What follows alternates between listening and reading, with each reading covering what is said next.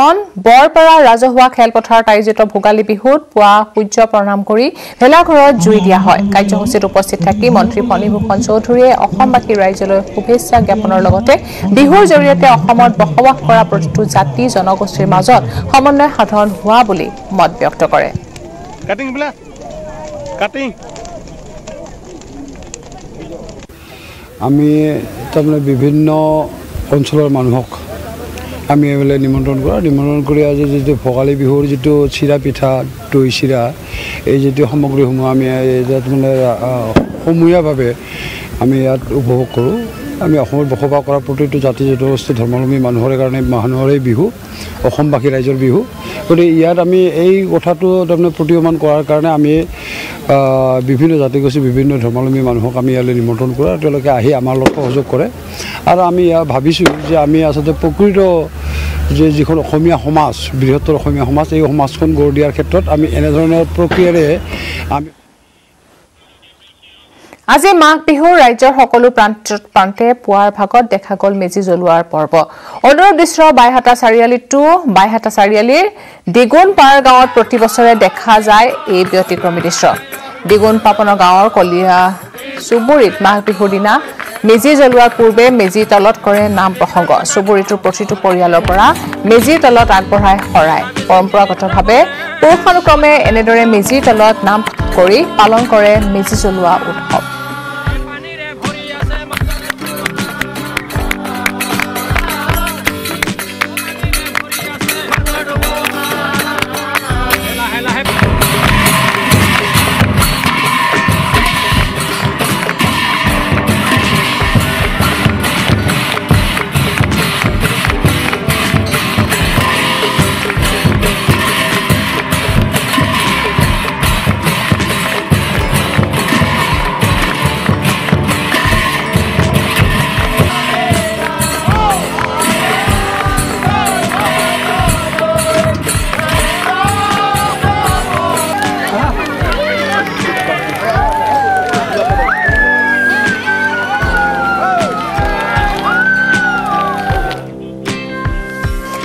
অসমীয়াৰ ভোগৰ উৎসৱ ভোগালী বিহু বিহুৰ দিনটো নিজৰ ঘৰৰ পৰা আঁতৰি দেশ মাতৃৰ সুৰক্ষাৰ স্বাৰ্থত কাশ্মীৰত কৰ্মৰত অসমীয়া যুৱকৰ বিহু উদযাপন।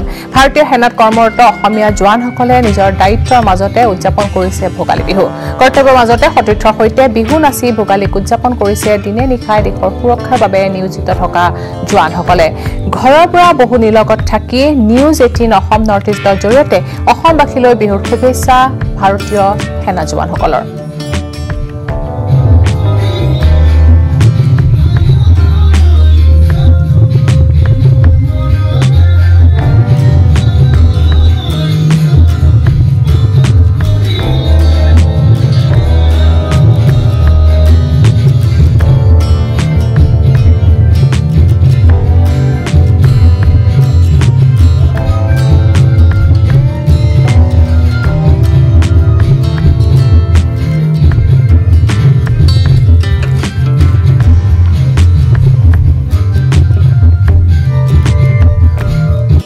নমস্কাৰ মই মালব্য গগৈ।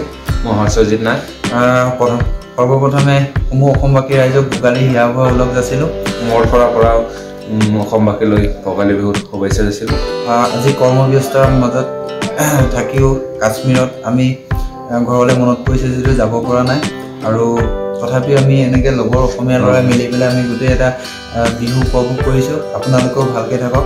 আৰু ভালদৰে বিহু উদযাপন কৰিব বুলি আশা থাকিল ভাৰতীয় হিচাপে আমি কিয় গৌৰৱান্বিত এনে কি কথা আছে যিয়ে আমাক সমগ্ৰ বিশ্বতে ব্যতিক্ৰমী কৰি তোলে? আচলতে আত্মনিৰ্ভৰ হবলৈ আমাৰ স্বতঃফুট কৰ্মদক্ষতা আৰু আত্মসন্মান যিয়ে আমাক এটা সুকীয় পৰিচয় দিয়ে। নেটৱৰ্ক এইটিন আই টি চিৰ সহায়ত আৰম্ভ কৰিছে স্বাভিমান ভাৰত অভিযান।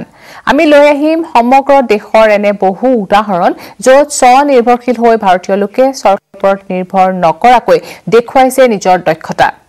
লাইডিয়ান নাধাস্বৰ নামৰ পোন্ধৰ বছৰীয়া বিস্ময়কৰ পিয়ানিষ্টগৰাকীয়ে চকুত কাপোৰ বান্ধি অন্য পিয়ানিষ্টতকৈ দুগুণ গতিত বজাব পাৰে piano.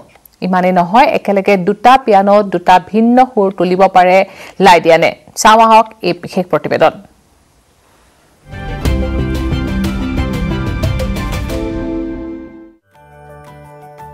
Child prodigy Lydian Nadaswaram is from the southern Indian city of Chennai. He is touted as the fastest pianist in the world. Lydian can do that with his eyes closed too. So one day uh, when I was playing piano at home, unexpectedly my sister covered my face with a thick towel and then she told me to play a song. I thought, okay, I'll play a song and I played. And then she realized and even I realized that I can also play blindfold, so I practiced more. He shot to fame globally in 2019 when he won the American TV show The World's Best and pocketed a cool $1 million as prize money. When his idol A.R. Rahman praised him as India's musical ambassador. Lydian now wants to play the Moonlight Sonata by Beethoven on the moon. For a Swabiman India, the sky is the limit.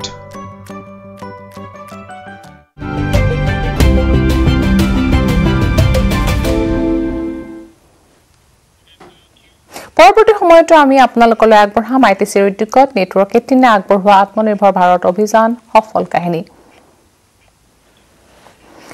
আহিছো পৰৱৰ্তী বাতৰিলৈ এই মুহূৰ্তৰ এক breaking news Paresh বৰুৱাক আলোচনালৈ অনাৰ চেষ্টা আলোচনাৰ বাবে এজন সাংসদে লৈছে এই উদ্যোগ। বাংলাদেশ ফেৰত আলফা নেতাৰ জৰিয়তে যোগাযোগ কৰা হৈছে পৰেশ বৰুৱাৰ পৰা বিচাৰিছে আলোচনাৰ মডেল।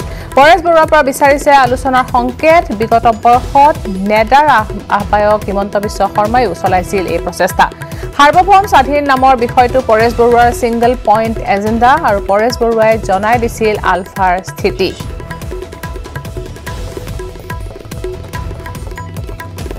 এই মুহূৰ্তৰ বিগ ব্ৰেকিং নিউজ পৰেশ বৰুৱাক আলোচনালৈ অনাৰ চেষ্টা কৰা হৈছে। আলোচনাৰ বাবে এজন সাংসদে লৈছে এই উদ্যোগ। বাংলাদেশ ফেৰত আলফা নেতাৰ জৰিয়তে যোগাযোগ কৰা হৈছে। পৰেশ বৰুৱাৰ পৰা বিচাৰিছে আলোচনাৰ মডেল পৰেশ বৰুৱাৰ পৰা বিচৰা হৈছে আলোচনাৰ সংকেত। বিগত বৰ্ষত নেতাৰ আহ্বায়ক হিমন্ত বিশ্ব শৰ্মায়ো চলাইছিল এই প্ৰচেষ্টা। সাৰ্বভৌম স্বাধীন নামৰ অসমৰ বিষয়টো পৰেশ বৰুৱাৰ ছিংগল পইণ্ট এজেণ্ডা আৰু পৰেশ বৰুৱাই জনাই দিছিল আলফাৰ স্থিতি। এই সন্দৰ্ভত আমি কথা পাতিম আমাৰ জ্যেষ্ঠ সাংবাদিক বিজু ডেকাৰ সৈতে। বিজু আপোনাৰ ওচৰলৈ আহিছো যিহেতু চেষ্টা কৰা হৈছে পৰেশ বৰুৱাক আলোচনাৰ সংকেত দিয়া হৈছে। গতিকে আপোনাৰ হাতত আৰু থকা সবিশেষ তথ্য জানিব বিচাৰিম। হয় এই মুহূৰ্তৰ গুৰুত্বপূৰ্ণ খবৰ। বিগত বৰ্ষতো আচলতে পৰেশ বৰুৱা নেতৃত্বাধীন আলফা স্বাধীনক আলোচনাৰ মেজলৈ অনাৰ চেষ্টা কৰিছিল। নেডাৰ আহ্বায়ক তথা অসমৰ বহুকেইটা গুৰুত্বপূৰ্ণ বিভাগৰ মন্ত্ৰী ডক্টৰ হিমন্ত বিশ্ব শৰ্মা কিন্তু সেই বিষয়টো আগ নাবাঢ়িল। কিন্তু শেহতীয়াকৈ আমাৰ হাতত এটা ডাঙৰ খবৰে আহিছে যে এগৰাকী সাংসদ নেডাৰ আহ্বায়ক নহয় এগৰাকী সাংসদ। লোকসভাৰ সাংসদ আৰু সেইগৰাকী লোকসভাৰ সাংসদে ইতিমধ্যে বাংলাদেশৰ পৰা কিছুদিন পূৰ্বে অসমত প্ৰৱেশ কৰা এগৰাকী আলফাৰ জ্যেষ্ঠ নেতাৰ জৰিয়তে পৰেশ বৰুৱাৰ সৈতে যোগাযোগ স্থাপন কৰিছে বুলি আমাৰ হাতত তথ্য আহিছে।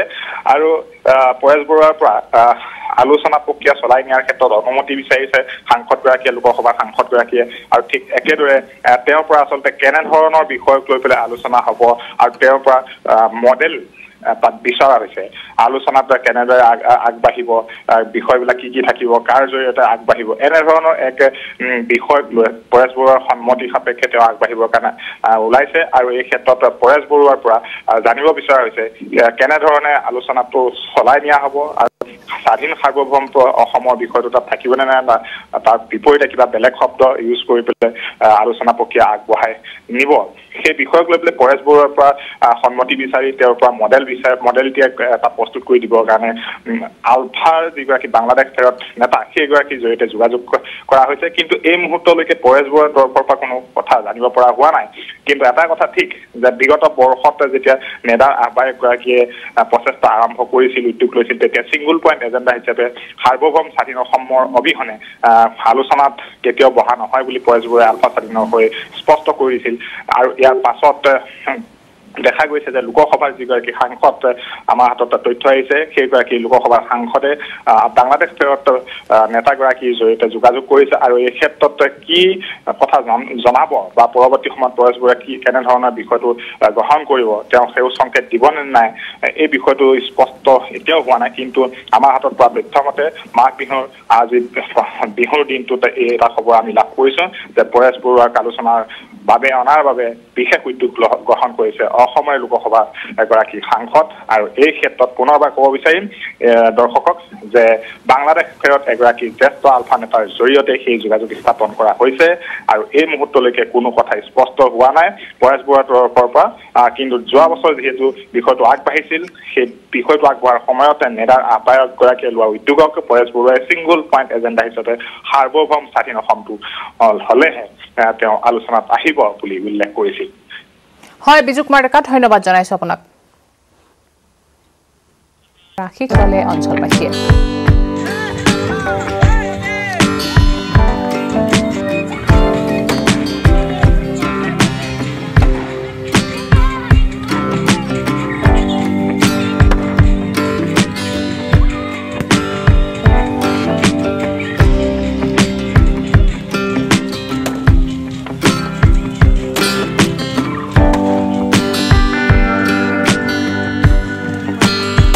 ঠাইৰ বিহু দেখাইছে এয়া ওদালগুৰিৰ দৃশ্য। সমগ্ৰ ৰাজ্যৰ লগতে ওদালগুৰিতো আজি এনেকৈ পুৱা মেজি জ্বলাই অগ্নিদেৱতাৰ আশীষ লৈছে অঞ্চলবাসীয়ে।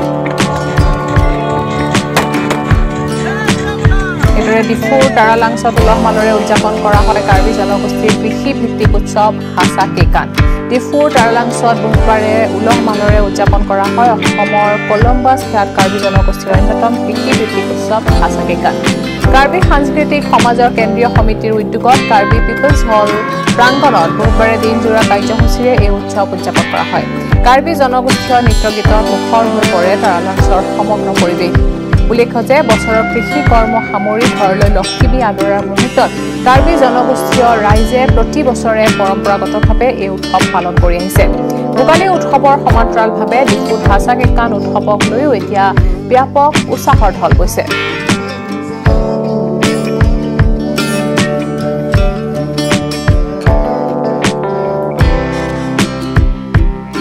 ডিফুৰ চিকাৰী টিছক দুহেজাৰ একৈছ বৰ্ষৰ এক্সিলেঞ্চ ইন কমিউনিটি লিঞ্জাষ্টিছ বঁটা প্ৰদান কৰা হৈছে। আমেৰিকা যুক্তৰাষ্ট্ৰৰ লিঞ্জাষ্টিছ ছ'চিয়েটিয়ে ছ'চাইটিয়ে প্ৰদান কৰিছে এই বঁটা। আমেৰিকা যুক্তৰাষ্ট্ৰৰ লিঞ্জাষ্টিছ ছ'চাইটিয়ে বুধবাৰে প্ৰদান কৰে এই বঁটা। ভাৰতীয় সময় অনুসৰি আজি পুৱা ভিডিঅ' কনফাৰেন্সযোগে গ্ৰহণ কৰা হয় এই বঁটা।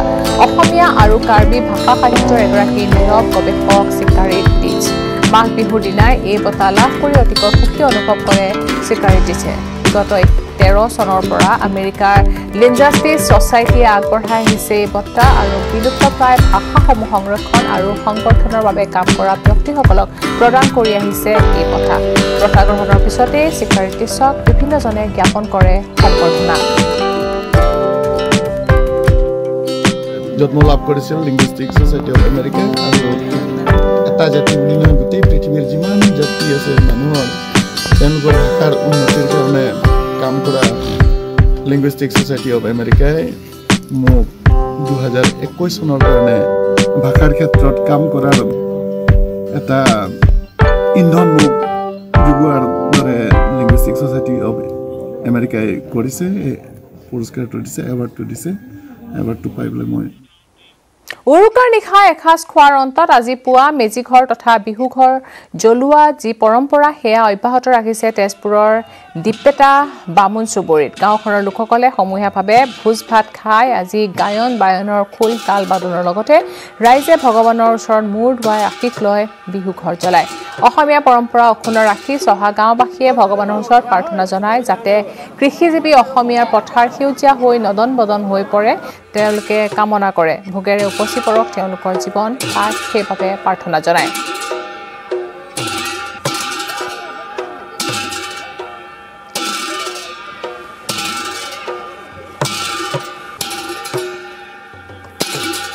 আমি আগবঢ়াইছো আমাৰ তেজপুৰৰ সাংবাদিক হেমন্ত নাথৰ বিশেষ প্ৰতিবেদন।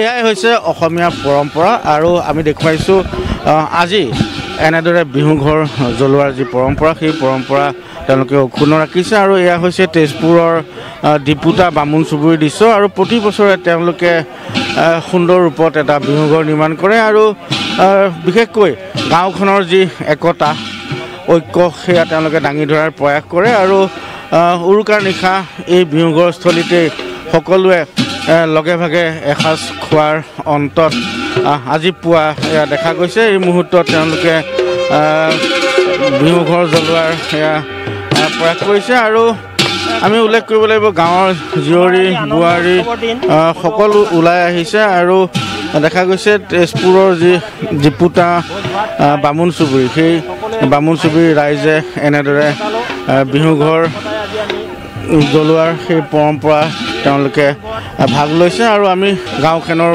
বয়োজ্যেষ্ঠ ব্যক্তিও আছে তেওঁলোকৰ পৰাও প্ৰতিক্ৰিয়া ল'বলৈ চেষ্টা কৰিম মই।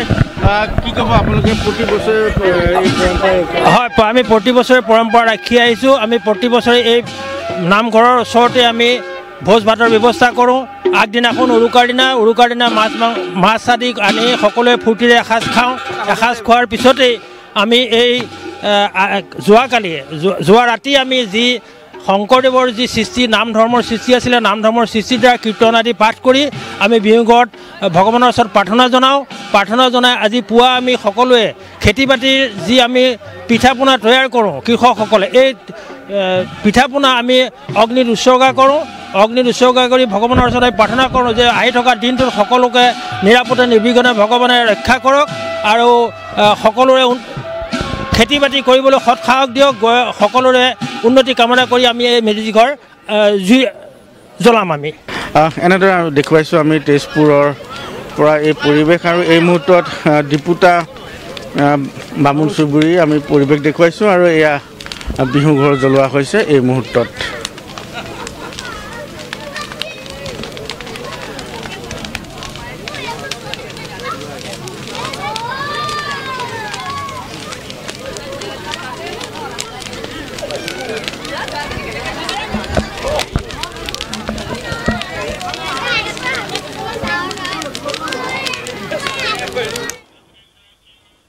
ইফালে বিহুৰ মাজতে পাঠশালাৰ দক্ষিণপতি নিশা ভয়াৱহ অগ্নিকাণ্ড সংঘটিত হয়। হাৰ্ডৱেৰ দোকানত অগ্নিকাণ্ডৰ সূত্ৰপাত হয়।